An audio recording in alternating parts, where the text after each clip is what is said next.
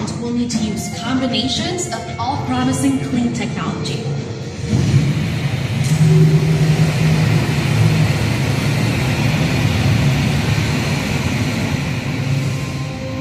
Water.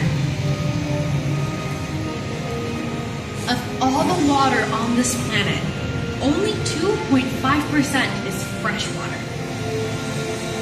Having enough for a growing population will be a challenge, and our changing climate adds to the challenge with droughts and water shortages. We can